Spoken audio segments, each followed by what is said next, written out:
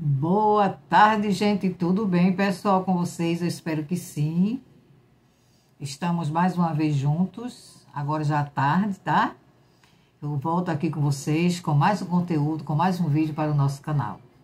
Eu vou falar de quem agora? Gente, eu assisti uma live, assisti dois vídeos de uma, um YouTube aqui, que eu já fiz até resenha sobre ele, mas já faz um tempo, tá? Eu gosto dela, assisto o canal dela, tá? Quando é para criticar alguma coisa, então vocês sabem que eu não tenho esse negócio porque eu gosto da pessoa, eu deixo de criticar, eu deixo de dizer no que a pessoa errou, embora a pessoa fique chateada, eu não gosto, eu só lamento, mas eu falo quando a pessoa faz alguma coisa errada, mesmo que eu goste dessa pessoa, tá? Eu não tô aqui só para falar, só para resenhar canais que por um acaso eu venha a não gostar tanto. Não. Estou aqui para fazer o meu trabalho com todos os, os vídeos que eu assisto, tá? Assisto para poder chegar aqui e dar a minha opinião, né? Que é o certo. E também eu gosto de saber a opinião de vocês. Eu peço a opinião de cada um de vocês e vou voltar a fazer isso aqui com esta resenhista que eu acompanho, tá? Eu acompanho, não acompanho muitas vezes assim como gostaria, porque vocês sabem que o meu tempo é muito curto. Tem canais que eu acompanho mais, outros eu acompanho menos tá bom? E outros que eu nem acompanho mais, e por aí vai, assim é a vida, né? Mas faz parte. Mas vamos ao vídeo de hoje. Eu assisti o vídeo da youtuber Franciele Oliver, não sei se todos conhecem, o canal dela não é grande, é um canal pequeno assim como o meu, ela tá com um pouco mais de 10 mil inscritos e cresceu bem o canal dela, porque há pouco tempo quando eu conheci a Franciele Oliver, o canal dela tinha acho que 3 mil, 3 mil e pouco, ou 2 mil, 2 mil e pouco. Era bem, bem pequenininho mesmo. Não, gente, minto eu, me lembro agora. Quando eu conheci a Franciele Oliver, o canal dela nem 2 mil tinha. Estava perto disso, mas não tinha 2 mil ainda. Me lembrei agora, porque eu me lembro que foi. Ela entrou na minha. Ela entrava nas minhas lives, só que eu não conhecia o canal dela, sempre muito educada, me cumprimentava, sempre muito é, tranquila, né? Sem nenhum. Não entrava nas minhas lives com baixaria, nada. Bem educada mesmo. E eu cumprimentava ela também. E ela sempre dizia que tinha um canal que estava. Que quem quisesse ajudá-la nas visualizações, ela agradecia tudo. Aí um dia, numa live, é, alguém, não sei, não me lembro bem quem foi, me pediu para que eu fizesse uma resenha sobre o canal dela porque estava uma, uma polêmica por conta de pedir pix. Né? E eu fiz essa, essa resenha. E depois disso eu comecei a, sempre que eu posso, eu acompanho, eu vejo os conteúdos da Franciele Oliveira, uma menina nova, jovem mesmo. Ela tem três filhos, inclusive o mais velho é autista, né? Ela é baiana, mas hoje ela mora, se eu não me engano, é em Minas Gerais, se eu não me engano é. Se eu estiver errada, vocês me corrijam aí. Mas se eu não me engano é Minas Gerais, numa cidade aí que eu não lembro agora o nome, tá? Mas é em Minas. Interior, se eu não me engano, de Minas. E aí, a Franciele Olives, a história dela é uma história de muito sofrimento, não é? Que ela passou na vida, ela sempre nunca escondeu isso de ninguém.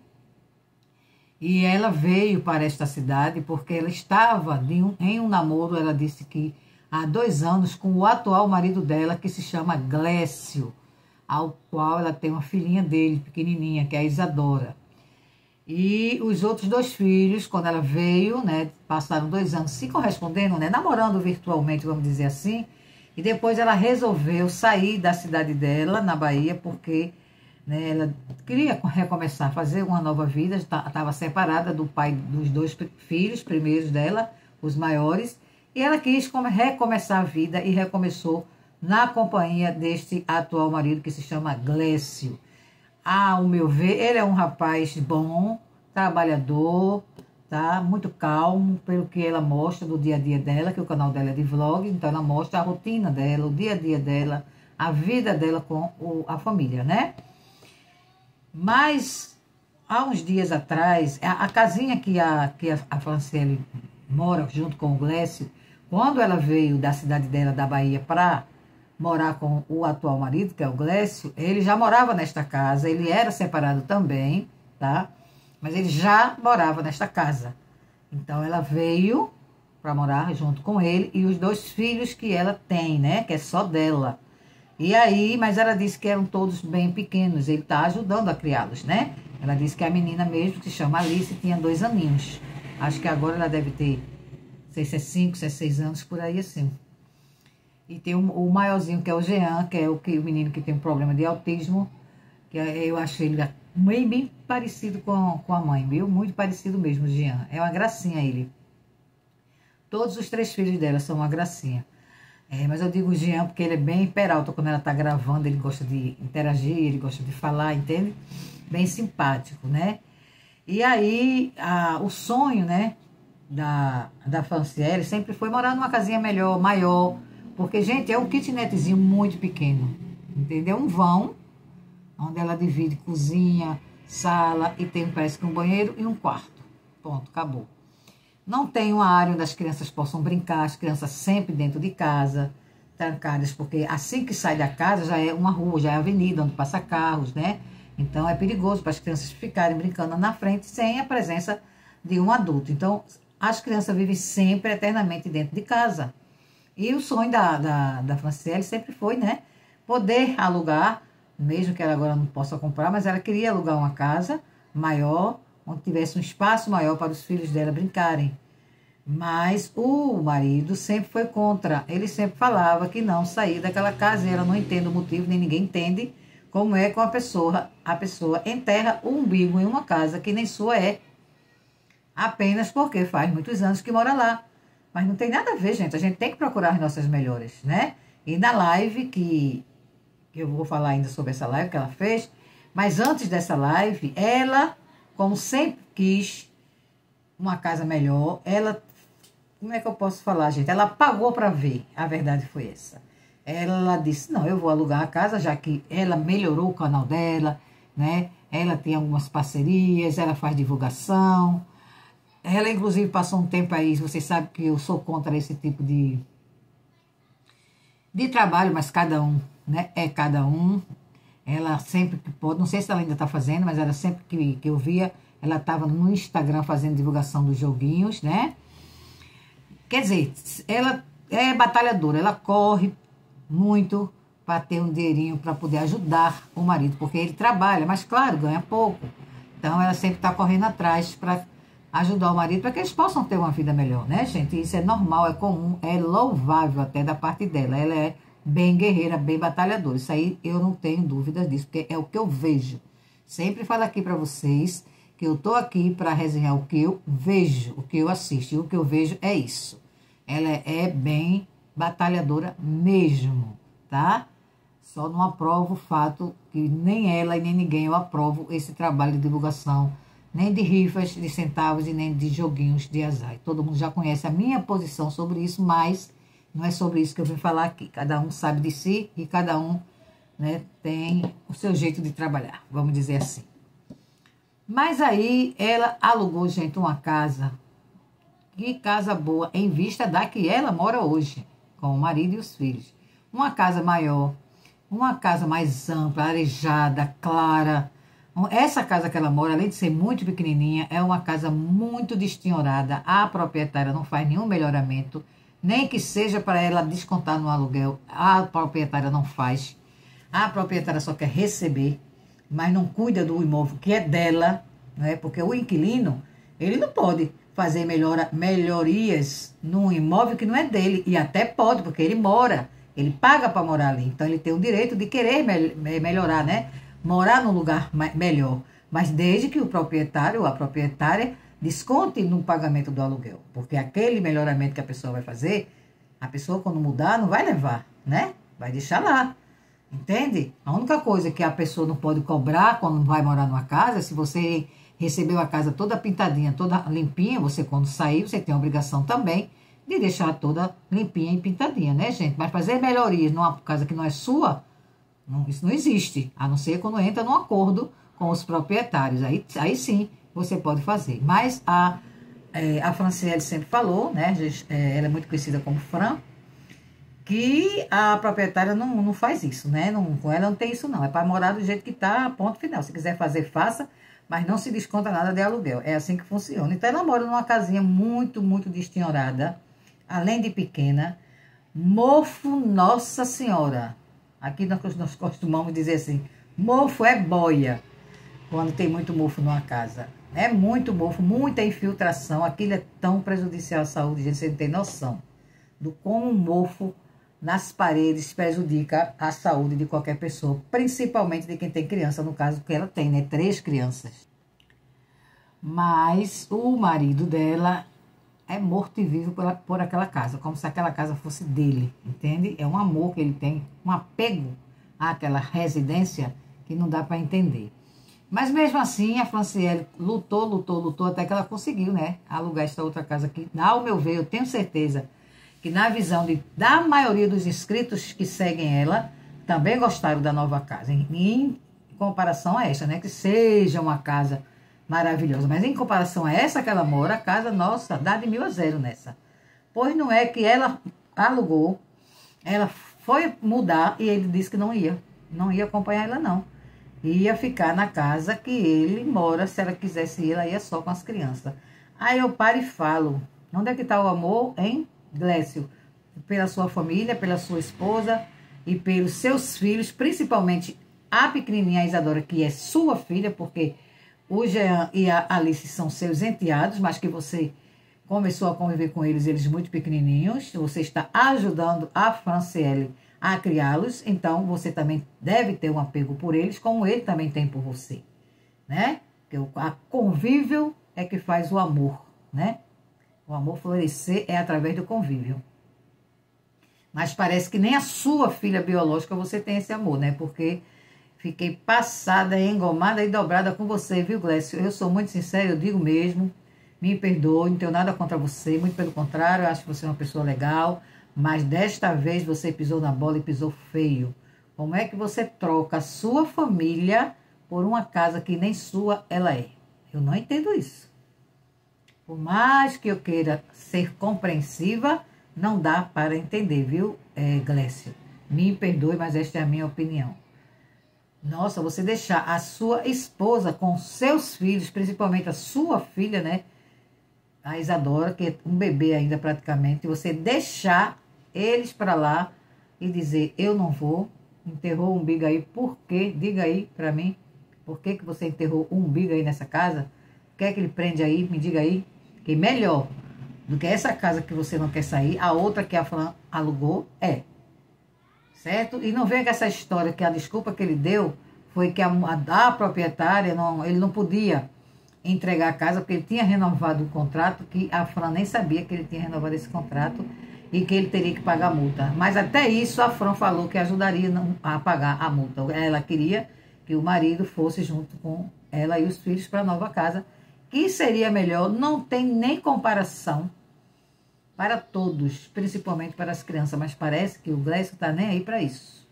Né? A minha opinião é você valoriza mais a casa do que sua própria família. E isso é muito triste de se, de se ver, tá? E a Franciele terminou, não aguentou a pressão, não é? E assistiu a live onde ela estava falando que estava voltando para a casa. Por quê? Porque o Glécio não quis acompanhá-la. Ela muito contrariada, mas ela tinha que voltar. Ela falou por quê? Porque ela disse que os filhos estavam ficando doentes. Mas deixa eu falar uma coisa, viu, Francela? Como, como eu acabei de falar, independente de eu gostar da pessoa, você sabe que eu não tenho nada contra você. É, eu acho você uma mulher guerreira, uma mulher batalhadora. Mas deixa eu dizer uma coisa para você. Não diga que voltou por conta dos seus filhos, porque eu mesmo não acredito nisso não, tá? Pode ter pesado na balança. Não vou dizer que não. Mas o que você voltou para casa que você não gosta e que não queria voltar, porque você ama o seu marido e não queria ficar separada dele. Tá? Ele em nenhum momento se preocupou com isso, em ficar separado de você e dos filhos, não é? Nenhum momento. Para ele, o não acabou por mais que você argumentasse, por mais que você conversasse, ele não quis nem saber. Para ele, o mais importante é a casa, não é você e nem são os filhos. E principalmente que eu fiquei passada porque ele tem uma filha com você. Mas nem a filha mesmo, biológica dele, teve força para fazer ele esquecer aquela casa que ele enterrou o umbigo lá e resolver morar num lugar melhor com a família. Ele não pensou em nenhum momento nos filhos para dar uma vida melhor. Não. Ele não quer, não quer, acabou, gosto daqui, vou ficar aqui, ponto final. Se prestou, prestou, se não prestou, o problema é seu, quer ir, vai embora sozinha, porque eu não vou. Não é que ele tenha dito isso para você, tá, Francela? É na cabeça dele. Ele não vai, acabou. Você pode alugar uma mansão, comprar. Ele não vai. E pare com esse negócio das pessoas estarem buzinando no seu ouvido, sabe? Que eu vi muita, muitas conversas lá na live de que fizeram alguma coisa, fizeram alguma coisa para ele. Não tem nada disso. E não, não, não inculque com isso, sabe? Porque palavra tem poder. Você é uma pessoa que tem seus preceitos religiosos, você é evangélica, né? E você não tem que acreditar nessas coisas. A gente sabe que o mal existe, né? Mas ele não foi por conta disso. Não tem nada porque fizeram nada, não. Porque ele simplesmente, eu acho, tá? É a minha opinião, tá, Franciele? Por favor, me perdoe. Você não é obrigado a concordar comigo nem ninguém. Mas eu acho, pela atitude que o Glécio tomou com você em relação a esta nova casa que você alugou, é que ele não ama tanto você assim como eu imaginava que ele amasse e também a família vocês não são tão importantes para ele como eu achava que era. Me perdoe ter que dizer isso, mas é o que eu acho.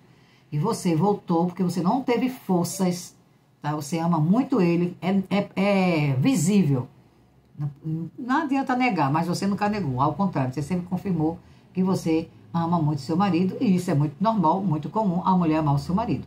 Agora, infelizmente, a recíproca tá, não é verdadeira ele não tem o mesmo né, sentimento que você tem por ele. Não é, não é pelo menos, não é da mesma força.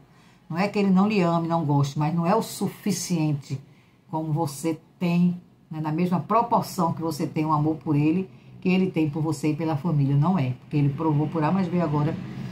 E mais importante para ele é o bem-estar dele e o lugar, aquela casa que ele, como eu disse, enterrou o umbigo lá como se fosse a casa dele. E não é, todo mundo sabe disso, né? Então, eu só lhe digo uma coisa, Francês. Você falou que já sofreu muito, e eu acredito, né, principalmente com casamento, com relacionamento, e você já correu da cidade, saiu, não é que você correu porque botaram você para correr, não. Você decidiu recomeçar sua vida em uma outra cidade para se livrar não é, dos sofrimentos que esta cidade onde você morava lhe causou na época. E você encontrou no Glécio, não é, um homem ao qual você sonhou a vida inteira. E você se apaixonou por ele e você ama loucamente ele. Não estou tirando a sua razão. Tem uma filha com ele, constituiu uma família com ele. Só que o lado dele é bem menor do que o seu, tá? Me perdoe ter que falar isso, mas é minha opinião, o que eu acho, pelas atitudes dele. Ele provou por A mais B que o mais importante na vida dele não é você, nem são os filhos, e sim a casa. Eu não entendo isso, tá? E então você, já que passou por isso, você voltou porque você achou melhor, você disse que as crianças estavam adoecendo. As crianças, olha, as crianças têm um poder de recuperação muito, muito rápido, viu? É... Franciele, se você não quisesse mesmo, se você quisesse mesmo dar um chega para lá no seu marido, por ele não ter lhe acompanhado, eu acho que sabe o que é que você deveria ter feito? Ter insistido e ficado lá na casa. Sim, é aqui que eu vou ficar com meus filhos, porque eu tenho que, eu, que dar o melhor para meus filhos. Em primeiro lugar estão os filhos, depois vem o resto. Mas se você, Glécio, acha que não, que em primeiro lugar está você e o seu bem-estar e a sua vontade, aí é um direito que você tem, né? Mas a Fran não teve forças, vamos dizer assim, para lutar, né? Sozinha. Ela disse que estava numa cidade onde não conhecia ninguém, só você, né? E ela não queria enfrentar a vida sozinha com os filhos. E eu acho que se fosse eu que estivesse no seu lugar, Francês, sabe o que eu fazia? Eu tinha ido ele me embora para minha cidade. Ele, se quisesse que fosse atrás de mim. Se quisesse, também se não quisesse, com o tempo a gente sofre, mas esquece. Você superou tantas coisas, porque não ia superar mais um, né? Mais uma decepção num relacionamento. Você saiu da sua cidade com dois filhos e você está aí, não morreu? Imagine, porque você tem uma filha dele, você vai morrer por conta disso? Você não ia superar? Claro que ia superar, mas você não teve força. Essa é a minha opinião. Sua força foi fraca, foi pouca. O seu amor por ele falou mais alto. Pronto. É o mais correto falar, tá? Seu amor por ele falou mais alto. Você renunciou mais uma vez a uma vida melhor, a uma estrutura melhor, pelo amor que você tem por ele. Mas não diga que foi por conta dos seus filhos, porque não foi. Pesou. E você também estava vendo, seus filhos estavam tristes, mas as crianças iam, com o tempo, elas iam se acostumar e se recuperar rapidinho, porque criança tem esse poder. Quando as aulas voltassem, elas iam voltar na rotina delas e tudo ia dar certo. Mas você não quis, porque você não teve força seu amor, como eu falei, foi muito maior do que a vontade que você tem de dar uma vida melhor para os seus filhos. Essa é a minha opinião, tá? Me perdoe, estou dando a minha opinião, porque eu, além de ser resenhista, e o meu conteúdo sempre é falar dos canais alheios, tá? Eu também tenho idade para ser sua mãe. Você pode, poderia sim ser minha filha. Então, se você fosse minha filha, era isso que eu ia falar para você. E é isso que eu estou falando agora, porque eu sou de falar a verdade, do a quem doer, tá? Felizmente, tem gente que não entende que quando você fala, não é porque você não gosta da pessoa, não é porque você acha que a pessoa é isso e aquilo. Não. É uma opinião pelas atitudes que eu vi o seu marido tomar. Tá? Você é louca, apaixonadíssima por ele. Não estou tirando sua razão. É seu marido. Você tem mais é que gostar mesmo, mas uma coisa eu aprendi na vida, viu? Franciele, passo sempre isso para minhas filhas e para quem mais quiser me ouvir, né? são, chama-se experiência da vida, porque eu tenho uma idade já, né? Já passei, você disse que já passou com tão pouca idade por tantas coisas na vida, imagina eu com praticamente 64 anos que faço mês que vem. Então, nossa, como eu já passei por coisas na vida, mas eu aprendi na, na, em tudo que eu vivi na vida. Hoje eu costumo dizer que eu sou formada na faculdade da vida, tá? A gente consegue maturidade com tudo que a gente passa, né? E com os passados anos também, claro é que é, para você gostar de alguém, primeiro você tem que gostar de você próprio. Para amar alguém, ame primeiro você. E coloque sempre seus filhos e você acima de qualquer amor que você possa ter por um homem. Sabe por quê, meu amor? Porque quando eles querem fazer. Você viu agora aí o exemplo com seu, com seu marido. Ele não pensou duas vezes em dizer não vou e ponto final. Tá nem aí se ia ficar sem você e sem os filhos. Nem a dele biológica, ele não ficou nem aí. Ele ia viver, estava vivendo a vida dele muito bem. E a partir do momento que você voltou, espero que não aconteça isso, mas geralmente quando acontece uma coisa assim parecida com o que aconteceu com você, quando tem uma briguinha, sabe o que, é que o homem diz? Você foi quem voltou, voltou porque quis. Entende? Então, você não deveria ter saído. Mas porque você mesma falou, né? Que você não imaginava que ele ia tomar essa atitude. Você pagou para ver. Você achou que o amor que ele tinha por você e pelos, pela família era maior. Mas não foi, viu, meu amor? Então te liga, tudo bem, voltou, viva feliz aí com seu marido, é o que eu desejo do fundo do meu coração. Você seja feliz com seu marido, com seus filhos, mas fica de olho bem aberto, porque agora você já sabe que você e seus filhos não são as pessoas mais importantes na vida do seu marido, tá bom? Você está provando para ele que ele é na sua vida o mais importante que tudo, voltando para casa como você fez. Mas ele já provou que não, não, não, não tem o mesmo sentimento que você tem. Você priorizou ele, tá? E se anulou. Mas cada um é cada um, né? Então eu só peço que você fique esperta. Fique esperta, porque quando a gente pensa uma coisa, muitas vezes é outra, tá? Então é isso, Francês. Desejo tudo de bom para você, viu? Deus continue te abençoando, teu canal cresça, que você pense mais em você e nos seus filhos, porque você sabe que não é a cumplicidade do seu marido, o amor não foi tão forte como você imaginava que era, não é verdade? Então é isso, gente. Dê a opinião de vocês aí. Quem não conhece esse canal e quiser conhecer, gente, vão lá, dá uma força lá para Franciele Oliver. O nome do canal dela é esse, Franciele Oliver, onde ela mostra a rotina do dia a dia dela, tá? E é um canal que ela está com um pouco mais de 10 mil inscritos. Parabéns, tá? Por você ter conseguido crescer. Está crescendo, vai crescer muito mais. Você é muito. Tem, a gente sabe, né? Que aqui na plataforma tem quem goste, tem quem não goste, tem quem ame, tem quem não ame. E a gente tem que aprender a conviver com todo mundo. Entende? A vida não são só flores, você não recebe só elogios. Continue fazendo seu trabalho da melhor forma que você puder. E vida que segue, que Deus lhe abençoe grandemente. Ok, gente? Então é isso. Quem não conheceu o canal da Francelle Olive, que tiver curiosidade de conhecer e gostar, se inscreva, dá uma força aí para ela, tá bom? É isso aí, gente. Um grande beijo. Espero que vocês tenham gostado. Dê a opinião de vocês aí.